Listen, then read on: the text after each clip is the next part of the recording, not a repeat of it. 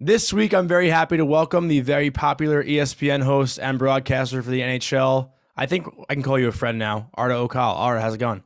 I'm good, Johnny. How are you, man? Do people call you Artie as like a, a nickname, or what's your? uh You got to have a hockey lingo nickname now. I don't. I don't have a hockey lingo. I should probably have one at some point, but uh, no. I think Arda is like such a unique. It rolls off the tongue. Like, yeah, it's kind of Yeah. like that's kind of a nickname in itself. Like Mhm. I already have a name that nobody else really has in hockey, so it's almost like yeah, yeah, just keep that. Yeah, fair enough. But I, guess I don't know. Oaksy, like I don't. I have no idea. I have no idea what my hockey name would be. I, I don't know. yeah, you'll maybe we'll give you one by something the end.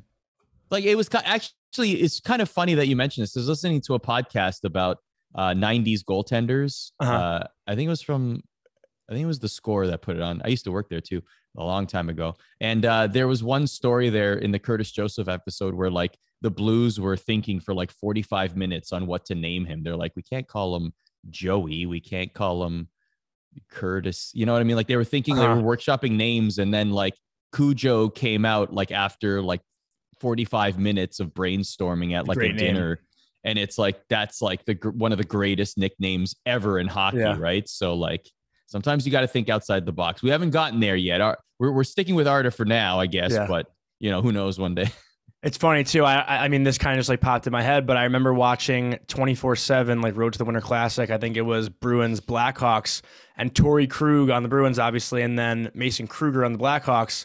Like their last names and nicknames were like kind of switched. So like the Bruins called Torey Krug Kruger, and the Blackhawks called uh, Mason Kruger Krug. It was like kind of weird how it worked, but um, exactly you can't use the same you can't use Yeah. the exact last name you gotta you gotta change it up No, yeah, definitely not. And and I want to kind of jump into the ESPN stuff right away. I mean, you've always been a guy I feel like that wants to bring out the personalities, you know, kind of like myself. I I like to think I'm similar to you in the fact that, you know, I'm not here to spit facts and, you know, talk about numbers and percentages and all that stuff, but I just like to talk to people that truly just love the game and and make the game more fun. So, for you, how much fun has this year been so far being with ESPN? And I know you made your uh, debut on the point last week.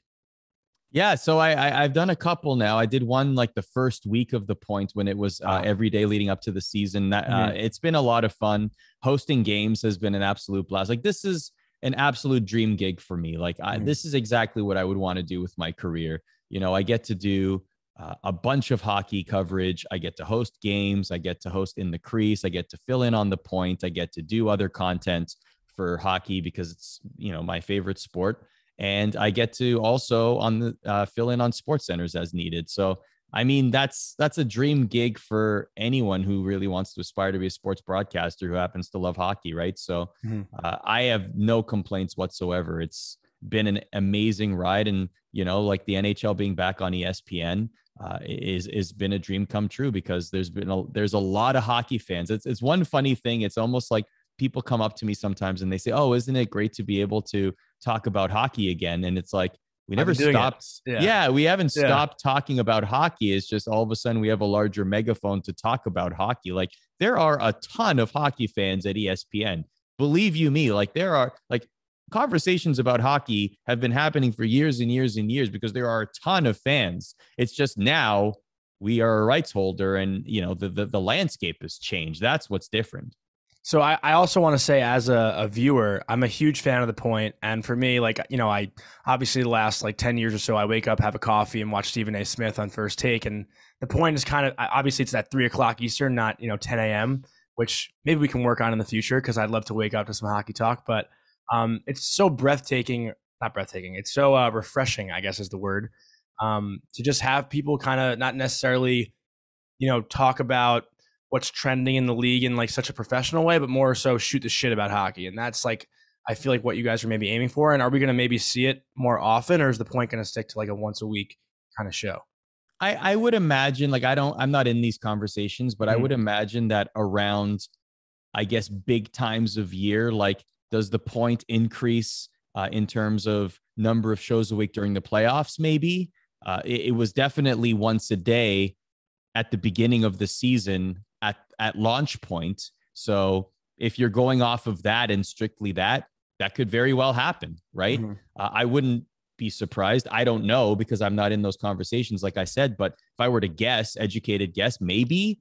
But I mean, just the fact that a show like The Point exists, and you know, uh, we will have more announcements about shows uh, on digital. Like, for example, the first day of the regular season, we did a digital show on ESPN's Twitter, YouTube, et cetera, called The Drop, uh, mm-hmm. uh, which was myself and Greg Wyshynski. And fans can look forward to that returning at some point. And maybe there'll be more shows like that, you know? So there's definitely a lot of content on the horizon. And I'll say, like, even in hosting the point last week, to your point, there's a lot of great storytelling that's happening yeah. that normally wouldn't have a place anywhere else. We aired last week when I filled in, we aired a 12 minute, I call it a mini documentary yeah. on Jack Hughes. Like it was, it, it was a very, very substantial feature on Jack Hughes. And you got a really great glimpse into his personality and how he interacts with his teammates, especially his roommate Ty Smith. And there were some funny moments in there about how he can't cook broccoli. broccoli but yeah. then there's also conver- there's also stuff about his on ice play and how he's been, you know, his development in the league and how he's been enjoying that journey and some of the challenges, etc. Like it was a really substantial piece, and the point is a perfect place to tell those kind of stories. And uh, you know, for for me being part of the team, it's like this is awesome that we can find these stories, tell these stories, talk to people, and, and, and really bring this out because that's what hockey fans want and crave. And yeah. now we finally have an opportunity to do this for them. Yeah, I thought Emily Kaplan absolutely crushed that feature. Um, it was it was really entertaining. I actually watched it twice. Um, just because I've become a fan of Jack Hughes, I think he's an awesome kid, awesome for the game. But let me kind of ask you on top of that, if you could do a feature on one player right now, who would you want to do a 12 minute piece on?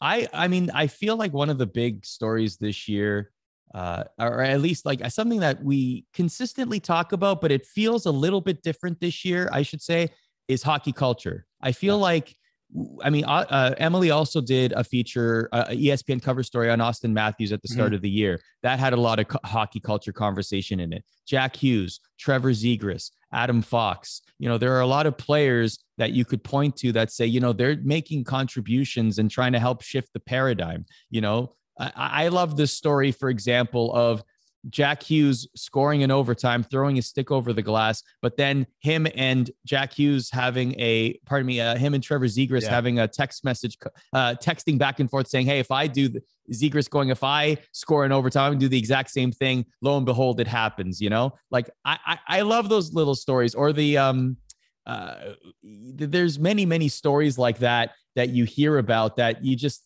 it just warms your heart. Like it just like, okay, I for everyone that's talking about oh traditional hockey and believe me there is definitely a place for tradition in hockey. There's definitely some things uh, that should absolutely be revered and kept. But that does that's not to say there's not a happy medium to be able to express yourself and your personality in certain things.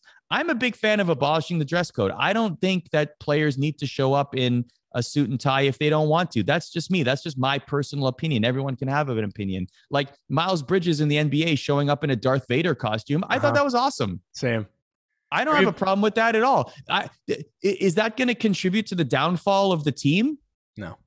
No. So like I I mean things like that in my humble opinion there's definitely places where we can relax a little bit on what people would label as quote unquote hockey culture or traditional hockey culture or whatever the case may be. But I will say this with the players, like we just talked about, that are really talking about it, bringing it to the forefront consistently, I do think that it's relaxing. I do see a change. And I do think that we're getting there step by step. It's not as quickly as people might want, but it's definitely on that path.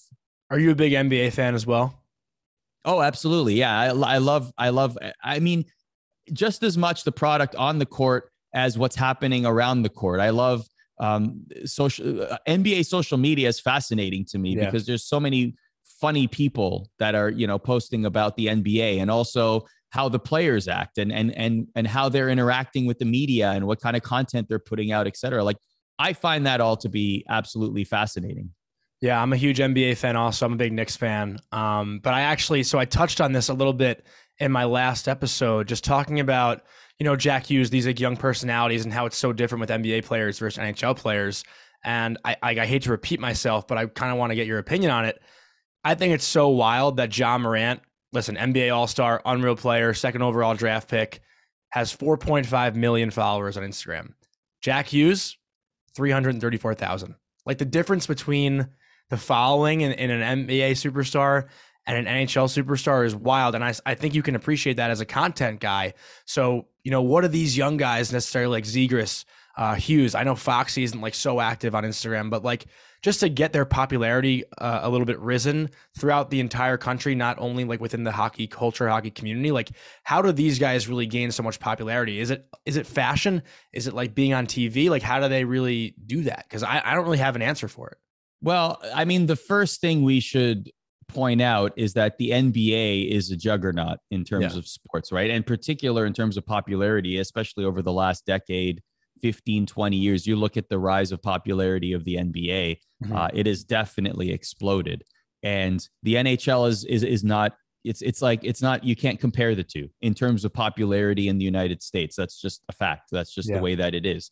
And so, by virtue of that, the stars of the NBA will no doubt have a lot more attention than the stars in the NHL. But that's not to say that the NHL can't grow and those stars can, and those stars can't be found.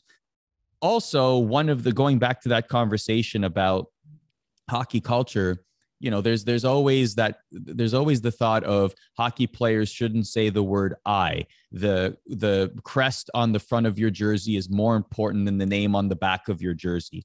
In the NBA, that sort of personality, that sort of outward expression is encouraged mm-hmm. and is it, the, the culture, it, it, it, allows for that. It, it, it supports that. And I'm not saying that that's not necessarily the case in the NHL, but I believe we will eventually get to a point where that kind of expression will be encouraged. And I think that that will help as well, because as we know, social media really, if you want to grow your social media following, you have to be consistent. You have to be creative. You have to be informative. You have to be funny. Like there are certain buckets that you can notice people growing their social media followings. Why do you follow people on social media? The very small percentage of people is because they're celebrities and you're just yeah. interested in them as human beings and you want to know what they're up to, right? But then uh, maybe similarly to athletes, like, okay, I want to follow um, Connor McDavid on Instagram because he's Connor McDavid, or I want to follow Hilary Knight on on social media because she's Hilary Knight, for example, right? Mm-hmm. But like for other people, there's there's reasons, right? Like if I'm uh, uh I don't know a third line center and I'm not I don't necessarily have that cachet. What if I'm con- uh, consistently posting on social media? What if I'm putting interesting things behind the scenes that fans can't see? What if I'm funny? What if I'm engaging? Like there are always these hooks, these reasons for people to follow you, right? But that comes with uh, the, the the culture too. Like yeah. it's it needs to be a, a collaborative, inclusive culture of you're not going to be shamed necessarily for posting on social media frequently or or whatever the case may be right? Like we're getting to a point where that's going to happen in hockey where that this kind of it will be encouraged at some point. It may not be sooner than later uh, or sooner than people will have hoped but i do believe we're going to get there eventually yeah, I, I think uh, a huge advocate for that too. I mean, it might not be like the most glamorous of posting, but you know, Robin Lehner has done an incredible yeah. job just like speaking out and and I uh I got a chance to read uh Jess Granger's story today on him. I don't know if, if you if you caught that, but like that's another difference too, right? Like I I hate to like keep going back to the NBA, but you know, Kevin Love like gets up off the bench in the middle of the game and like goes to the locker room because he's have like having an anxiety attack where you know, Robin Lehner is a guy who obviously has been battling with mental health illness, but mm-hmm. um, you know, I feel like just hockey toughness would if, if he got up off, you know, off the ice in the middle of a game, that could like ruin his career. I don't even know, you know. It's just such a different, you know. The the the, the concept of hockey, like being a hockey guy or yeah. hockey toughness, right? Like you said, yeah. uh, that certainly is a thing. We anybody listening to this, watching this right now, knows exactly what we're talking about when we say he's a hockey guy. Yeah, he's hockey tough. We they know as soon as we say this, right? Mm-hmm. Like you understand it. The perfect example. Oh, that person uh, lost a tooth, didn't miss a shift. This person needed stitches, came right back on the bench. Yeah. This person got a gash on their leg from a skate, they're right back on the ice. Like that sort of hockey toughness, right? Now, some of those situations, we can credit that to, to toughness and okay, they're fine to continue to play. But other situations, like one big change, for example, uh, the concern for for head trauma, right? Like what happens in the NHL now uh, in terms of concussion protocol, vastly different than what happened in the quote unquote old days, decades oh, yeah. ago, whatever the case may be, right? Like the game evolves and changes. And maybe that paradigm of what we consider to be quote unquote hockey tough will also change because we realize that at the end of the day, we want these athletes to be in tip top optimal condition, optimal being the word here, because we want them to play for very long careers mm-hmm. because we want to watch the best play against the best. And so that definition is fluid too. That could look vastly different five years from now than it does today.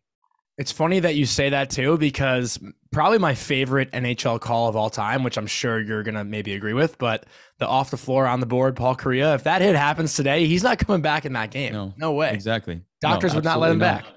Right. And we look back on that moment because he scored a goal. And I mean, to hear him talk about it now is yeah. is definitely a lesson learned though, because like he talks about how he doesn't remember much from the game, et cetera. Mm-hmm. And like that's scary to think about now, knowing what we know uh, about about head trauma and concussions, right? So what I will say is I, I think that we are getting to we're eventually going to get to a place where the athletes will feel safe, the the paradigm is in a place where it needs to be and we are all still enjoying the game as much as we do.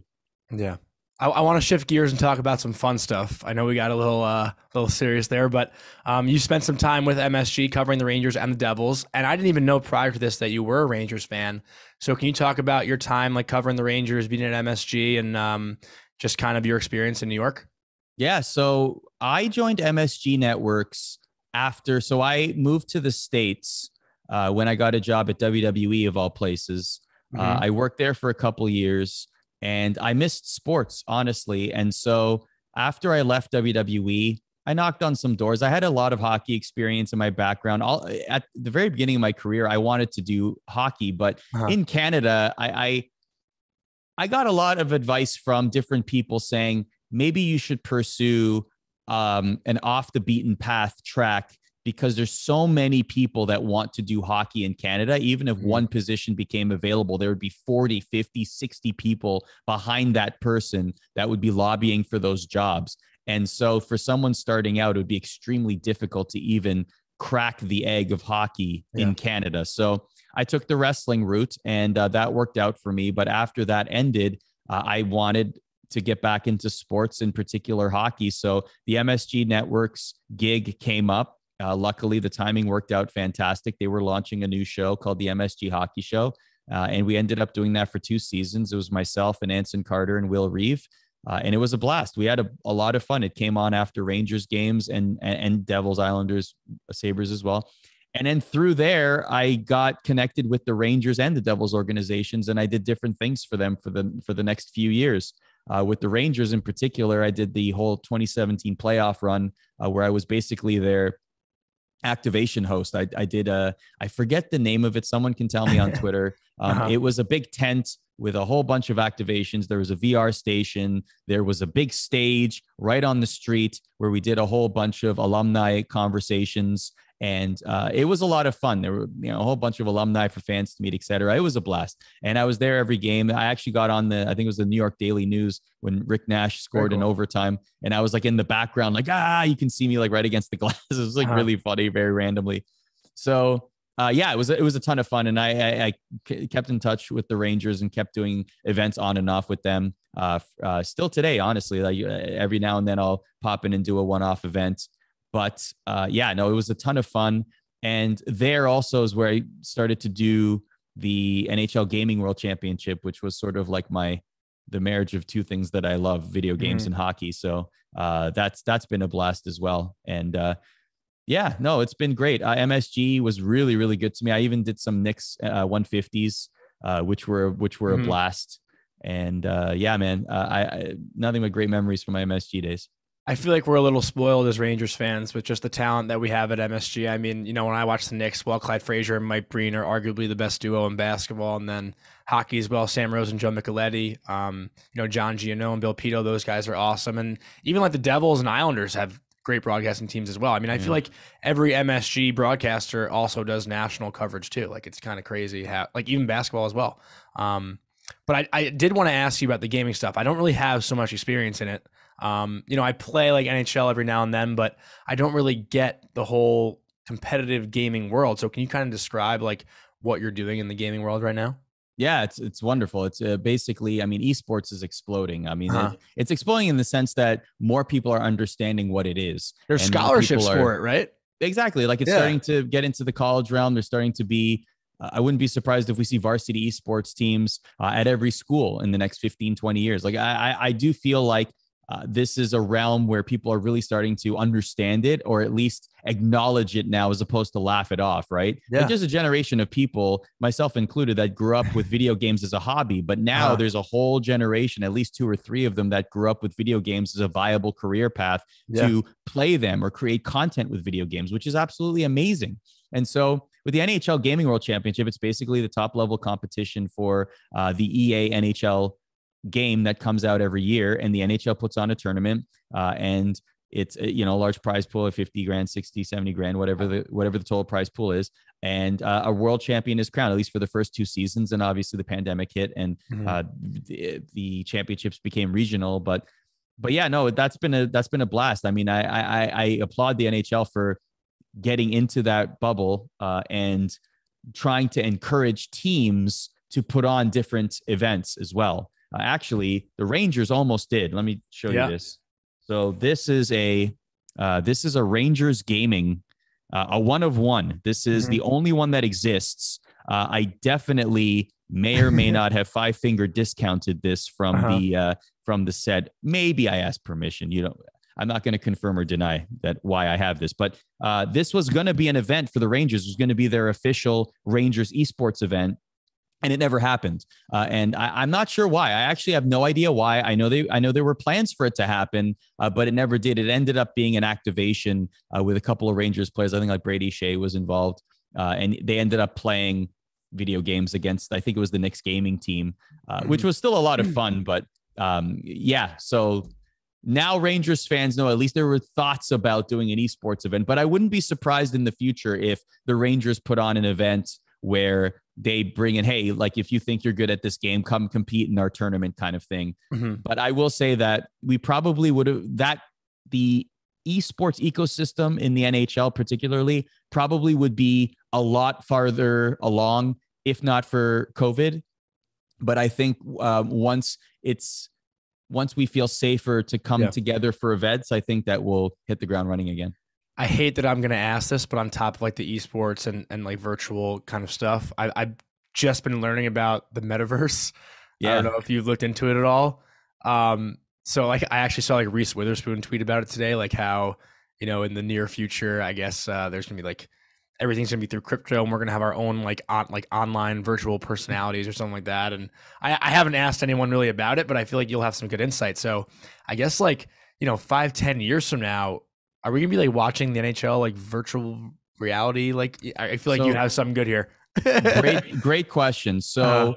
okay, so those are two different things. So the metaverse, and I won't get too deep in the rabbit hole here. Uh-huh. I highly encourage everyone, if you're interested in understanding what this all means, go and learn about it. We're still in the very early stages of like mainstream adoption of what the metaverse is. To understand it, basically, it's all virtual existence is is the best way to put it. But we'll leave it at that for the metaverse. Do your own research Uh-huh. at least at least watch a couple of YouTube videos to understand exactly what it, what people are talking about. I do recommend that.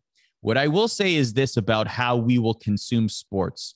So I when I, I did a podcast at MSG Networks, and one of my guests was a guy by the name of Blake J. Harris. He wrote a book uh, about the history of video games, but his next project was about virtual reality and the history of it, but what is also to come. And he said, which has stuck with me, and I and I can now absolutely see this happening, is he said, in the near future, it could still be five, ten years, whatever the case may be, but in the near future, there will exist a world where through virtual reality, you will put on a helmet and you will all of a sudden be sitting at Madison Square Garden. You will have a virtual ticket. you will have the exact angle as if you're sitting in that seat. Wow. But not only will you be able to see exactly what you would see sitting in that seat, you would also hear everything exactly the same, but you would also smell everything. Like, and it would almost be like a complete recreative experience as if you are actually sitting there. Like it would be like a completely immersive. I am at MSG. I can see the roof.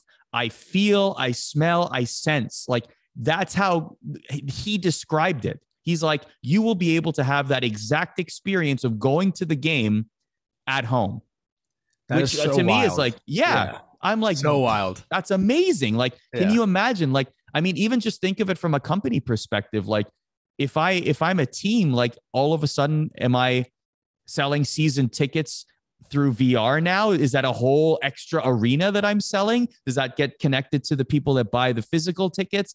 Uh, like, what will that look like? How will it feel? Like, trust me, VR has made leaps and bounds of improvement since you know even five years ago. Like, the, the, what you're able to experience now is astounding. Like, I mm-hmm. I I I play VR often, and and I'm like like fascinated by it because I do feel like this is the future, like of of gaming, but also of sports consumption. It, mm-hmm. it it it is it's not there yet, but it's definitely on its way. But you're still gonna have to go to the physical MSG to get that famous Madison Square Garden popcorn. Yeah, They Yeah, won't bring exactly. you that. They won't bring exactly. you that at home. No, unfortunately, unless you buy go and buy your own. Exactly. Exactly. it's- Yeah. It's so weird to think about, though. I mean, like, I'm definitely gonna get off topic here. Now we're talking about like real, real world stuff, just you know, for like a quick second here. But I feel like the last ten years, everything with technology has been built to like bring people together, and now we're just going in the opposite direction. Like, I don't want to sit on my couch with a helmet on and like not talk to my friends or parents, like watching the Well, Ranger game. Actually, I think they the the whole idea would be that they would also be in their homes and you would be with them. It's almost as if you're sitting beside each other and you're still having that collaborative. Yeah, you're still Uh-huh. having that shared experience and you're able to talk to them and see them beside you. Oh, you I can see them beside you. Yeah. So like imagine you're sitting here, but like you can still see people in the arena. So those people they're Whoa. in there. Yeah. So like you're seeing, Whoa. let's say your dad beside you and Yeah. you're seeing your friend beside you, right? So like those that would be the experience, except you're a little bit more comfortable because you're not like scrunched Yeah. into a seat, I guess. My mind is like, and and it doesn't smell like beer and like pee next to you probably, but my mind is like That spinning. right depends now. where you are in your house, I guess. if guess. That's more Nassau Coliseum anyway, but that building's done. Uh, um, but that's wild. My head is like spinning. I, I mean, I just can't like wrap my head because I've obviously been looking into it for like work, and they're talking about how you're gonna have like a you know your own like virtual person at work, and you can have like a virtual meeting. But that's besides the point. Oh yeah, don't no, that's a whole Yeah. other conversation. Yeah, I mean, yeah. people if you're if you play video games, you already have this familiarity of it. You know what I Uh-huh. mean? Like avatars with like different outfits and skins, etc. Like people, if you're let's say you play Fortnite or Minecraft or whatever you play, Uh-huh. you already understand this concept. You know Okay. what I mean? Like you Yeah. are already very well aware. Yeah, the other thing is like NFTs. People talk about NFTs all the time. That's like a buzzword now. What is an NFT? What is this Mhm. thing? It's a digital collectible. I can't hold it in my hands. What the heck is this thing? Don't don't be surprised if in the future, and you're already seeing teams start to experiment with this, but don't be surprised if all of a sudden your ticket to go into a game is a digital ticket yeah. and it's a collectible, right? Like if I had a ticket from game seven of the 94 Stanley Cup final, right? Mhm. I could probably sell that for a pretty penny if I wanted to. Like I'd probably keep it because I love to, as you can tell, I like to collect stuff. But like I'd probably I could probably sell that on eBay and get a pretty decent amount, right? Mhm. Now, here's the thing. With NFTs, eventually like you're going to get a ticket, let's say, and it might have a highlight on it from the game or it might have a moment or some sort of uniqueness to it that then you can either keep and collect yourself or you can sell that as well. The beauty of the NFT is that there'll always be a ledger on what it was sold for, how many times, what day, and to whom. So you'll always know. With the with that ticket stub, you may never know. Yeah. So like anyway, we're getting deep into the Yeah, NFT rabbit yeah. hole here, but anyhow, a- I wish I'm I a- did have a game seven ticket stub. I do have this though, actually. Hold on, let me show you.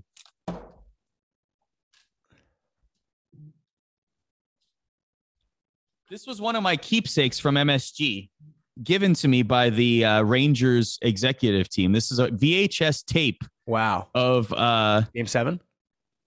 I think it's the whole run. Oh wow. And it says hosted by uh, Sam Rosen, John Davidson, and Al Trautwig. How about that? How That's about the so holy cool. trinity of of uh, old school Rangers commentary? like that's like that is the trifecta right there, right? yeah, that's good. and it has Messier on it with who I now work with, which is like absolutely surreal. I was gonna ask you about that too, actually. There, there you go. No. That's cool. Also, VHS tape. Anyone knows what a VHS tape is these days? like, this is like the oldest of. Like this is amazing. I love. You could probably sell stuff like that for some good money too, though. I am not selling. Are you I- kidding me? yeah. I I would keep this forever. No way. I wouldn't recommend it, but Someone make me an offer on Twitter. Actually, I'm just kidding. I'm not Yeah. selling. Not for sale. I used to, uh, as a kid, you'll appreciate this probably. I, I had like the iPod Nano, like the first one that had like video on it. Yeah. And I had the, I didn't have a TV in my room growing up. So I only had Game 7 94, like video on my uh, iPod. Beautiful. And I, Beautiful. I like need to fall asleep to like TV or like some kind of thing, like with my eyes Yeah. open, uh, just how I am. Is this game But- seven? I would only watch Game Seven on my on my iHome or whatever. I'd plug it into the iHome and just watch Game Seven every night to fall asleep. It was kind of wild, but um, I, you you mentioned Mark Messier. I just got to ask, like, Yeah. obviously, you know, ESPN has a very talented NHL roster right now, and you're just like surrounded by hockey celebrities pretty much every day. I mean, I don't know if you're in the office every day, but um, are you ever in awe of just the people that you work with right now? I I love our team. I Uh-huh. think that ESPN brought together a collection of incredible hockey talent. Smart, know the game very well, uh, well researched, well respected. It's it's a it's a fantastic team, from the hosts to the analysts, the reporters. It, it's been an absolute blast to be surrounded by them. I I often work. I mean, I work with uh, even last Thursday. You know, like I was just sitting and doing uh, cut-ins, which is basically studio updates. Basically, you know, giving updates around the league on uh, on the game on ESPN. And I was sitting in studio with with Linda Cohn and Mess, and uh, just just to hear them talk hockey, you know, is is is a treat and to just hear stories about uh, Mark Messier's career. Uh, he so uh, um, I think it was Matt Boldy for the Wild that scored Yeah. his first, first NHL goal, hmm and so I asked uh, Mark. I said, "Hey, Mess, do you remember your first NHL goal?" He was like, "Yep, uh, it was on my mother's birthday, and I scored it against Rogie Vachon." and I'm like, "Man, like you've had so many." The guy won six Stanley Cups. He's like the greatest leader in sports history, one of the greatest NHL players ever. But you never forget your first NHL goal, right? Like it's just one of those things that you never forget. And so that was kind of cool. And and then and then they uh, brought it up on the broadcast, which was neat too. But Yeah. I mean, I yeah, I, I I'm I listen. Like I not it is not lost on me that I'm living a a charmed existence. Uh, you know, being able to be around such great hockey minds. Like I I have done many broadcasts with John Tortorella now, and like I just feel so much smarter about hockey when I leave. You know, like he's a wonderful like we and oftentimes we don't even talk about hockey. Like just the he'll he'll tell me about you know we'll just talk about life and uh, he's a big um, he's big on um, horses and, and and rescuing horses. We talk about that a lot, and you know, j- but just like the hockey part of it, it's just like the way that they think about the game helps me look at the game like that, you know, Mhm. and so I'm grateful to that because it makes me more uh, analytical and and and more of a uh, the you know to way to parse the game to think about the game. So yeah, I am completely blessed in that regard.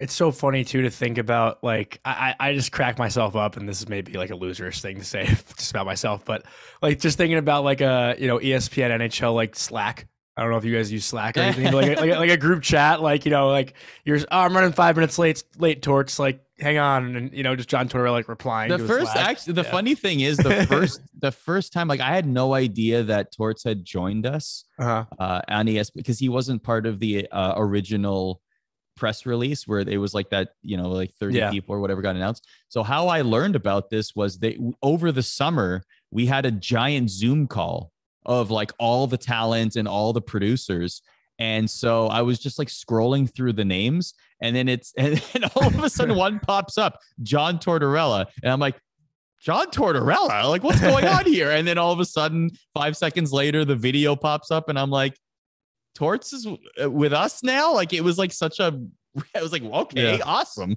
That's yeah, so it was cool. like such a such a funny moment. But like, yeah, that's how I how I learned about it on Zoom. That's so funny. Yeah, he's he's the best. I mean, Even uh, you know, I was actually texting with Emily a little bit, just like in preparation for this. I wanted to get some funny stories, and she was saying how uh, to ask about how Torts chose boxed mac and cheese over uh, chicken parm. I guess. Oh yeah. So on- at the end of the the point, point. he it, there's like a what will he eat kind of thing, and obviously with Bucci, the whole chicken parm, and so Uh-huh. that's usually part of it. So since he wasn't there, uh, we thought, well, maybe we'll just change up the food. So when he comes out, so I didn't know that he was a big mac and cheese fan. I had no Uh-huh. clue. And so when they did the big reveal, uh, I looked at it and I was like, mac and cheese. Like I love mac and cheese. Don't get Yeah. me wrong. Like I'm a big mac and cheese fan. I feed it to my daughter all the time. And uh, but it looked like boxed mac and cheese. So he's like, he's loving it. He's like, yes, let's go. Like he's clapping and he's just loving it. So like the funny part of that is, so we start eating it, and I, um, he's, and then he also mentions on the show, like, oh yeah, I love uh, chopping up hot dogs and putting it into my mac and cheese as well. Like Ooh. it sounds like such a college Yeah. thing to do, but I like know. it's something I totally do. You know I what I know if mean? It's a college thing. Mac and cheese. Well, I don't know. You didn't do that at college, mac and cheese and hot dogs. Like you're kind of like a starving student, and you're just like, I'm gonna look for like, you know, that and ramen noodles. I don't know. That's what I did Yeah. in college. Maybe My dad actually puts hot dogs and know. beans. Yeah. Okay, fair enough. Yeah. But like, but like mac and cheese, like you know, I mean, I even asked him off camera. Like the best part of the whole thing was off camera when the show ended. So we're eating it, and I'm like, so wait, you would rather this like cra- like boxed mac and cheese over like gourmet pasta and like high end cheese? And he's like, yeah. And I'm like, really? Like actually, boxed mac and cheese better? He's like, yes. And I'm like, with no ketchup and nothing. And then he stops and he's like, just shut up and eat it. That's so funny. and, I'm like, and I'm like, yeah, I guess you're right. So we just ate it. It was hilarious. That's so funny. I, I guess while we're on that topic too, because I, I love asking people that um you know do live TV or just like on on live air. Um, you got to treat your body just like an NHL player would, and and you know you can't just like go to the bathroom, you know, during live air. So, like, have you ever had any funny stories where you just like you know can't hold in anything and you got to go to the bathroom like while you're recording or while you're live? I've definitely uh, had.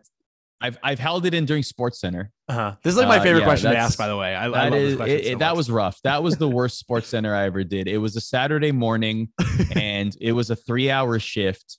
Now, to be fair, the first hour is usually like we're just on the entire time. And then the next couple of hours, some of the segments will re air. But I think something, maybe news dropped or something to that effect. And so we couldn't leave. and man, I. I have a small bladder as it is. Like I know that's TMI, but like uh, you know, I drink one coffee and I gotta like, I immediately need to head to the restroom. Same. That could not happen. And I was struggling with a capital S. It was awful. Like you could like I you, I probably if you look at look back at it, I'm probably like shaking at the desk.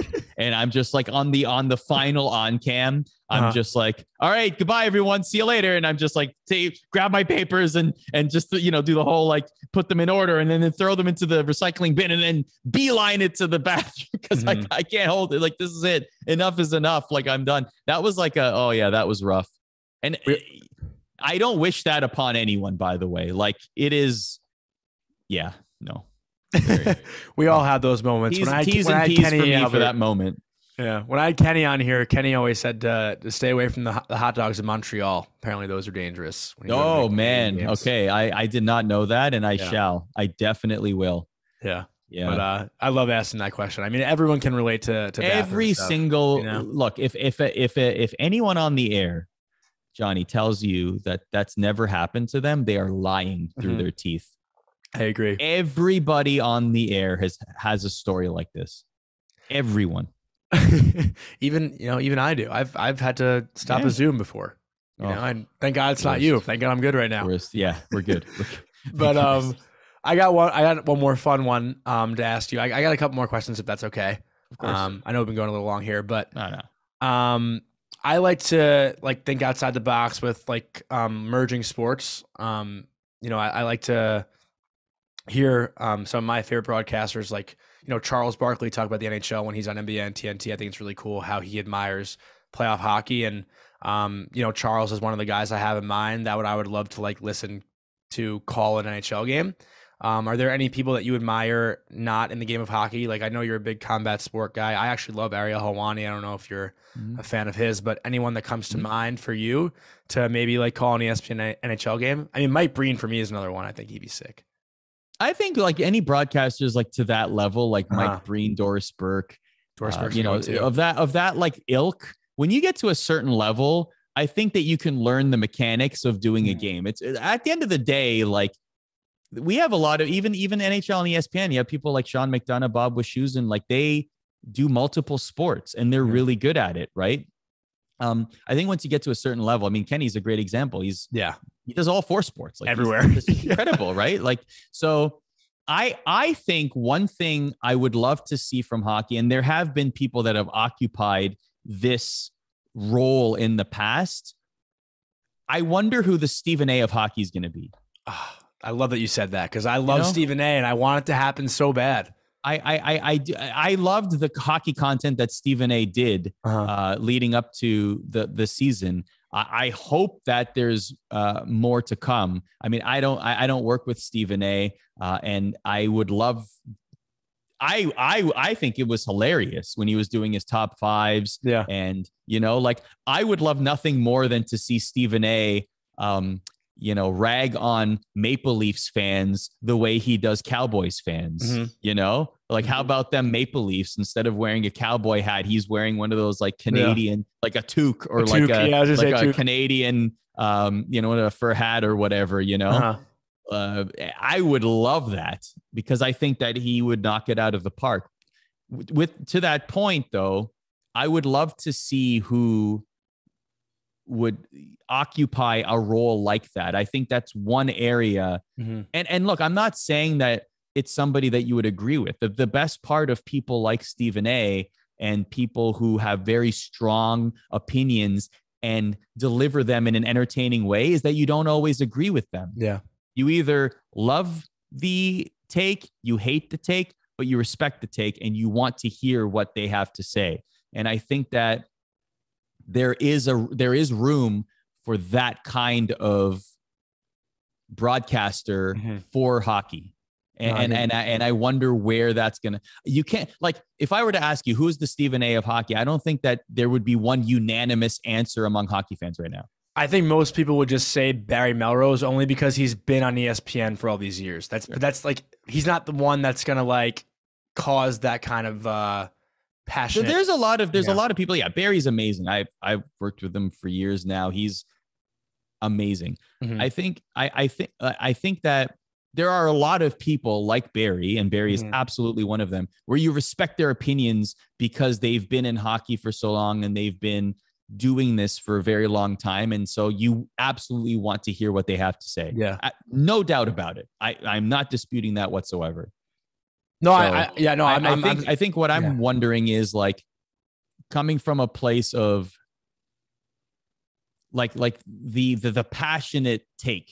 yeah. That's guess, that's to what I was saying. Like Barry, Barry obviously like, knows everything he's talking about, but I just don't get like fired up. You know, like Stephen A. could talk about anything, and it's must watch TV. Like you know, it's just just how it is. But Whether you um, love it or you hate it, yeah. you watch it, right? Like that's the thing, and, and and it's it's a it's a polarizing figure, and we've had that in the past yeah, uh, in in hockey, but I wonder where that will come from. Yeah, it's I funny guess. too because Max Kellerman, I like, is another one that I love, and there's one take that I'll just never let, like, not that I know him, but I'll never let him live down. It's the uh, him saying that UFC is one of the four main sports in the U.S. and hockey's the outside. Hockey's the fifth. Like it wasn't a top four sport. I was like, that's wild. UFC is definitely. gr- I mean, listen, I love. But it's the not a UFC. team I sport, think that it's definitely sure, but it is a it is a very popular Yeah. sport. I, I don't like people that say it's not a sport. It absolutely is a sport, Mhm. but it is. Uh, it it's definitely. I mean, it's experienced It's exponential massive. growth. Yeah, it's massive. absolutely, it's experienced exponential growth, especially in popularity. So no, I, I mean, I I I. I think that I, it, it'll take a while for the UFC to break the top four. I mean, you know, popularity, whatever the case may be, but for for people to say that it's not a sport is is ludicrous. No, I, I mean they train like athletes. They're athletes. Like I, I They are even- athletes. Yeah, They are. It's just it's people now. Whether you a, a- appreciate combat sports or not, that's a whole other story. Mhm. But the UFC is absolutely a sport. That there's no there's no debate about that. I consider There's Joey a- Chestnut to be an athlete.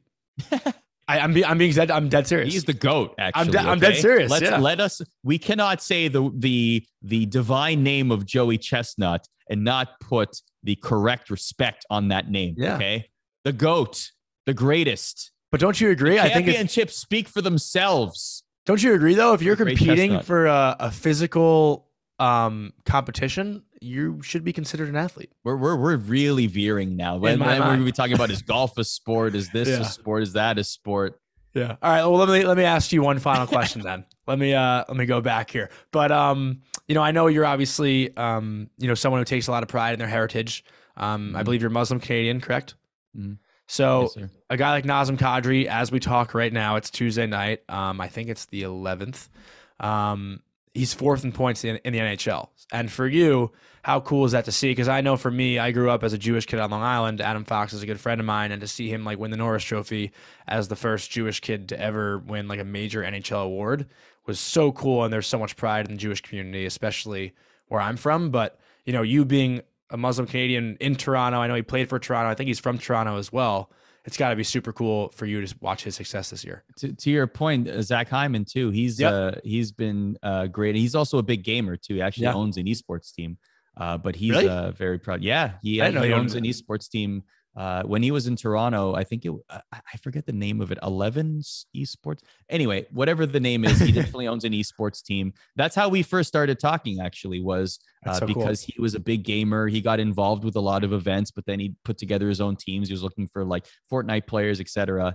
Uh, but uh, but yeah, also uh, very proud of his background, uh, as as everyone should be. People should absolutely be proud uh, of where they come from and their backgrounds. And honestly, in the case of uh, uh, Nazem Kadri, I think it's fantastic. Like one thing that I love so much is and and this is to a much smaller scale than a professional athlete playing in a in the biggest league that they possibly can. Like whenever I receive a message from someone that's like, "Wow, I saw your name on television or I saw you uh, on Sports Center and like I didn't know that people like us could even dream to do a job like this." Like mm-hmm. growing up, I didn't have many role models that were of the same background as me or there's the same faith as me. Like it was really Muhammad Ali, right? There weren't many other people that you could look up to and say, I can do wow, that. if they can do it, I can do it as well. And that's so important. Imagine how many people of Arabic descent, Lebanese descent, of Muslim faith,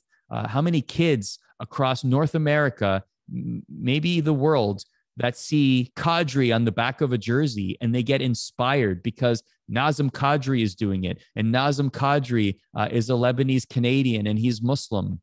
And he has a similar backstory to them and a similar cultural background. And they get inspired because they've heard those names before. And it's like, wow, I can do this too. And I'm going to be just like him one day. Like that's powerful. It's very, Yeah. very important, you know? And that uh, we, we, for, for all the conversation, yes, listen, diversity, inclusion, it absolutely matters. And yes, we have a ways to go in hockey, but these are success stories. And, and for him to be part of the Hockey Diversity Alliance, and Mhm. that video was extremely powerful. And, and there was, a, I think it was at the 25 second mark where uh, Kadri's looking at his phone and he gets that text message. That hit me really hard because I've gotten messages like that. I've been called that word that was in that text message. That didn't, I, that, that wasn't fun. Like Yeah. it stung. It sticks with me. It sticks with people when they receive slurs like that, when they get called things like that. And that's not cool. I'm sure that many people watching this have a similar experience. And all you want to do is you want to play hockey or you want to make friends and, and be in a, in, in a fun environment, an inclusive, a safe environment where you can be yourself and you can talk about hockey, play hockey. The, the barriers to entry uh, low so that you can get involved, right? And so that that hit me extremely hard. I'm very proud of Nazem that he's involved in the in in that diversity alliance, and for everyone else involved, uh, up and down. You know, Anthony Duclair, Akim Aliu, uh, Matt Dumba, etc. Mhm. And so, I mean, for me personally, I'm very proud to see it. I would love to do a segment with Nazem Kadri one day because I don't think we've ever seen a segment where a Muslim host and a Muslim player are talking about hockey on a show about hockey. Yeah. For me, that would be a dream come true because that would just further be a further example of this is possible, you know? And Mhm. so, you know, for for look look at us. We are uh, uh, someone of Yeah. Muslim faith and someone of Jewish faith talking about hockey on a podcast. Like that's that's wonderful. Yeah. That's great. Like that's this like this is a perfect example of of of of, of, what hockey culture should be and Mhm. and what what you know like and I hope that people see this and say, yeah, like sometimes it's going to be th- th- there's always bad apples everywhere, Mhm. but we can't let them outnumber the good and we can't let them spoil the entire scene. We have to be diligent and we have to stamp it out and we have to be agents for change and positivity because that's how we're going to grow. Yeah. No, I mean that was beautifully said. And seriously, I, I admire your passion and just everything about you. I mean, obviously, I've been watching you on TV for a long time, but like actually talking to you like one on one is. I mean, I'm gonna watch you on TV Thanks, now, and it's gonna be like so much cooler Yeah. just to like say that I know gonna be you. like, oh yeah, it was that guy talking about holding it in on Sports Center for Yeah, exactly. minutes. Now That's- I'm I know gonna- him really well. I'm gonna be. I'm gonna tweet at you. Looks like you're gonna that- shit your pants. You're gonna be like, Um, are you holding it in right now? You're gonna be like, you're gonna be like texting. Are you holding it in right now? Yeah. Oh, you know. Funny.